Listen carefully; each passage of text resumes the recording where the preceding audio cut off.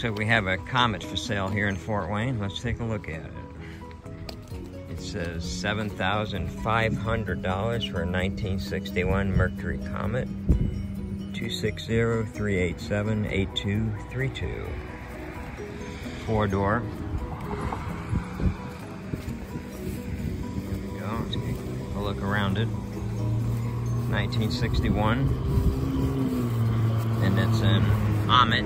Well, Comet, but there's a C missing. It's got kind of a flat black paint job on it. Let's take a look inside and take a look at it. Okay, it says it has, I can't really read the mileage, but probably read it better on the camera. And it's got like original type upholstery, not bad, a little puffed up on the back there from sun damage. Nice little car. I'm sure it has like 13 inch wheels. Pretty nice, but unfortunately for that, but that happens when they're out in the sun. Yep, I hate when they paint over the emblems. I can't stand that, but that's the way it goes sometimes.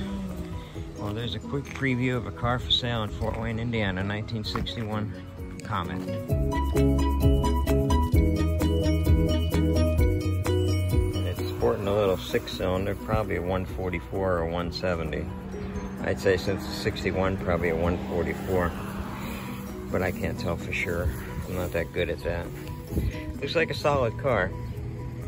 Very much so.